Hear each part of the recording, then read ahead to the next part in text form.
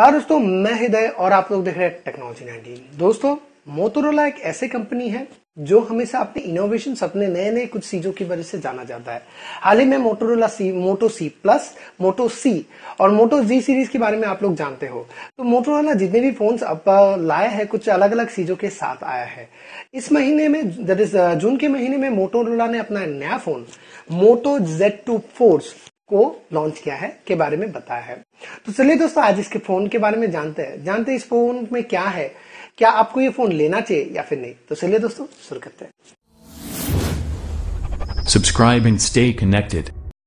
दोस्तों अगर बात किया जाए मोटोरोला की या फिर मोटो Z2 फोर्स की तो आपको करीबन 5.5 इंच की टच स्क्रीन डिस्प्ले के साथ मिलेगा जो आपको फुल एच डी रिजोल्यूशन देगा दैट इज़ करीबन 1440 बाय 2560 पिक्सल का रिजोल्यूशन देगा साथ ही में अगर इसकी प्रोसेसर की बात किया जाए तो ऑक्टा कोर स्नैपड्रैगन 835 प्रोसेसर यहाँ पे हो सकता है। इसकी अगर रैम की बात किया जाए तो फोर जीबी रैम और सिक्सटी फोर जीबी का स्टोरेज यहाँ पे हो सकता है।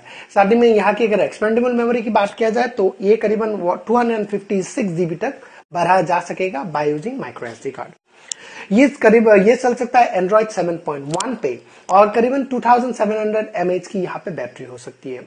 कैमरा की बात जहाँ पे आ रही है तो वो करीबन 12 प्लस 12 मतलब डुअल कैमरा सेटअप के साथ आने वाला है। Rear camera dual camera setup 12 12 plus 12 megapixel का डुअल कैमरा सेटअप हो सकता है। फ्रंट कैमरा 8 मेगापिक्सल का हो सकता है। रानी में अगर यहाँ पे अगर कनेक्टिविटी ऑप्शन में बात किया जाए तो यहाँ पे एक हाइब्रिड सिम स्लॉट हो सकता है जो आप लोग को नैनो सिम स्लॉट होगा जो आप लोगों को थ्री या फिर फोर दोनों की कनेक्टिविटी देंगी। अलग कनेक्टिविटी ऑप्शन में यहाँ पे बोला जा रहा है कि Bluetooth WiFi GPS USB 3.5 point mm jack और एफएम वगैरह हो सकता है। सेंसर्स के मामले पे यहाँ पे compass proximity sensor accelerometer ambient light sensor वगैरह हो सकता है। अभी अगर फ़ोन की डायमेंशन की बात किया जाए तो करीबन 155.8 बाय 76 बाय 5.99 मिलीमीटर का ये फ़ोन हो सकता है। और करीबन 143 ग्राम का ये फ़ोन हो सकता है। इसकी अगर एक्सपेक्टेड रिलीज़ की बात किया जाए, वो अभी एक्सपेक्ट कर रहा है, किया जा रहा है कि फोर्टीन ऑफ़ सेप्टेम्बर टू तक ये इंडिया पे रिलीज़ या फिर वर्ल्ड वाइड रिलीज़ हो जाना चाहिए। साथ ही में इसकी अगर एक्सपेक्टेड प्राइस की बात किया जाए तो करीबन thirty eight thousand nine hundred ninety rupees का एक्सपेक्टेड प्राइस इसका जा, पकड़ा जा रहा है। आखिर में बात दोस्तों ये आ रही है कि आपको ये फ़ोन लेना चाहिए या फिर नहीं। दोस्तों अगर बात किया जाए इस फ़ोन की पहले अब तक जो हमने स्पेसिफिकेशन बोला वो एक्सपेक्टेड स्पेसिफिकेशन नहीं ये एक्सपेक्टेड स्पेसिफिकेशन है ये ऑफिशियल स्पेसिफिकेशन नहीं है। लग, लेकिन अगर इसी स्पेसिफिकेशन के साथ आता है तो यहाँ पे great display great processor great RAM great storage आप लोग को मिलेगा। लेकिन मुझे बैटरी के सेक्टर पे थोड़ा सा कम लग रहा है, बैटरी थोड़ा ज़्यादा वीक हो रहा है। और यहाँ पे जो कनेक्टिविटी ऑप्शन है, वो लगभग ठीक ठाक है, लेकिन थोड़ा और हो सकता था। सेंसस के मामले पे भी थोड़ा और ऐड हो सकता था।